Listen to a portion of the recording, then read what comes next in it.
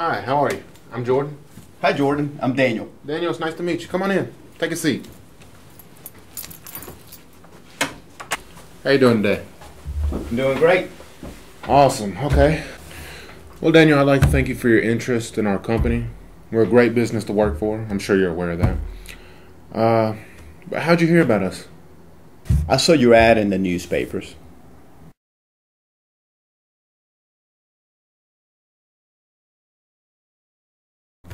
Friend of mine told me that you had an opening, and he actually works here. Where are you from? I was born in Mexico, but I lived in the U.S. for about uh, 27 years. You're from Mexico. So you speak English and Spanish. Wow. We could really use that. Um, well, tell me, Daniel, have you ever done this kind of work before? Muchas veces cuando vaya a hacer una entrevista le van a preguntar si usted tiene experiencia haciendo ese trabajo. Si usted tiene experiencia, ese es el momento de decirlo. Así que dígale todo lo que usted pueda, porque si no se lo dice usted, ¿quién se lo va a decir? Entonces, esta es su oportunidad de que usted diga todo lo que tiene que decir acerca de su experiencia. I do. I do have experience. I've done this kind of work. I work for ABC Motors, and I worked with them for about uh, two years, actually. Freeze. Vamos a congelar la clase rápidamente. Discúlpeme. Si tiene experiencia, ese es el momento que usted habla brevemente acerca del trabajo que ya tuvo, las cosas que ha hecho. Pero si no tiene experiencia, que no mienta. Sea usted honesto. Que le diga a la persona inmediatamente, sabes que no tengo experiencia, pero yo puedo aprender mucho, yo puedo aprender rápidamente o algo así. Ellos van a apreciarlo más que usted sea honesto con ellos y su sinceridad hablará mucho de usted. Well, I'm gonna be honest with you. I don't have a lot of experience doing this work, but I tell you one thing: I'm a fast learner. I pick up pretty fast. Great. Well, uh, I've gone over your resume a couple times. Everything looks great. Um, but Daniel, tell me a little bit about yourself. Muchas personas, cuando van a buscar trabajo, en inglés van a decir, I will do a good job. O van a decir, I'm a hard worker. Eso está muy bien. El único problema es que muchas personas están diciendo eso. Usted tiene que decir algo que lo separe de los demás. Cuando usted vaya a buscar ese trabajo, la persona que lo va a entrevistar está pensando, ¿por qué te debo de contratar a ti? Ya entrevisté a 20 personas, o voy a entrevistar a muchas personas. ¿Qué es lo que tú tienes diferente? ¿Por qué tú, usted tiene que convencerlo que usted es la persona para el trabajo? Porque hay muchísima competencia. Entonces es muy importante que usted pueda decir cosas diferentes. Cuando usted llegue a esa entrevista ya entrevistó a 10 personas, usted tiene que sobresalir entre las otras personas. Y es por eso que es muy importante que usted, si usted dice lo mismo que todas las personas están diciendo, usted va a ser como el resto de las abejas. Well, I'm a good team player. Freeze. Vamos a congelar la clase rápidamente, rapidito. Aquí le tengo unas frases claves. Escucha la palabra que estoy diciendo. Palabras y frases claves. Para decir cuando usted esté en una entrevista. Ahorita voy a decir cómo las voy a decir, pero primero se las voy a leer. Y esto lo sé porque me entrenaron a hacerlo cuando fui gerente. El primero es, I am a good team player. Como si se tratara de un equipo de fútbol, eso quiere decir que usted es un buen jugador en un equipo. Porque seguramente en el trabajo van a ver, es como un equipo, de eso se trata. Y es lo que ellos quieren escuchar. El que sigue es, I love people. Y quiere decir que usted ama a la gente. Aunque usted no lo crea, esto es muy tiene mucho sentido para ellos porque muchas personas no les gusta tratar con el público, con la gente. Y al usted decir esto, eso es algo que ellos les gustaría escuchar. El que sigue es I've got really good people skills.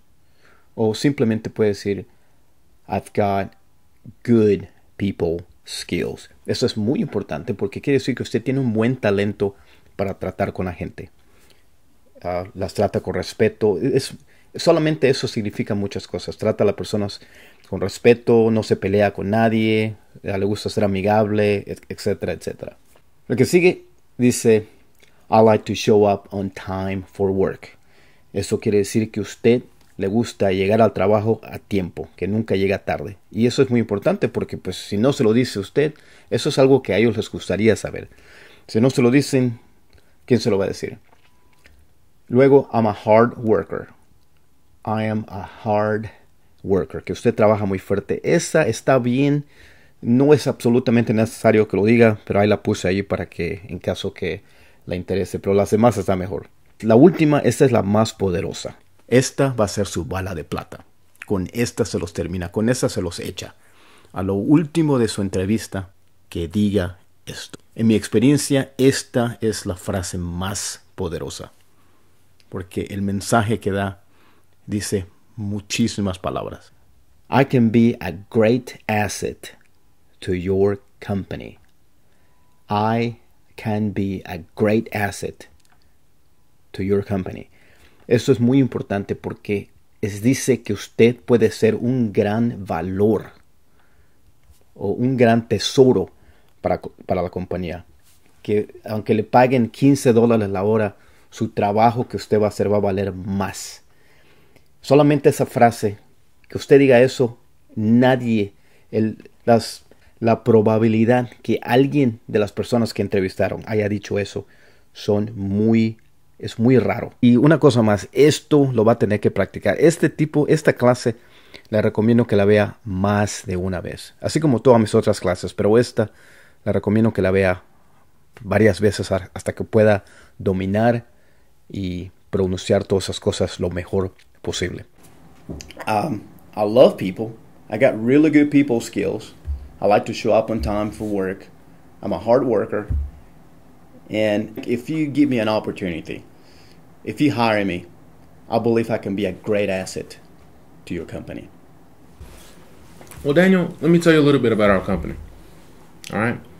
We offer great salary, awesome benefits, 401k, paid vacations, and if everything goes according to plan, I really think you'd enjoy working here. It's a great business. So I'll tell you what, I'm going to have a talk with my plant manager, talk a couple things over, and I'll be giving you a call. Sound fair enough? Sounds great. Awesome. Daniel, it's very nice to meet you. Thank you. Nice to meet you. Una cosa más que le voy a decir es, no se siente usted mal. Usted no tiene que hablar perfectamente en inglés, pero te tiene que dar a entender y se tiene que dar, se tiene que explicar bien lo que quiere decir todas las entrevistas son diferentes.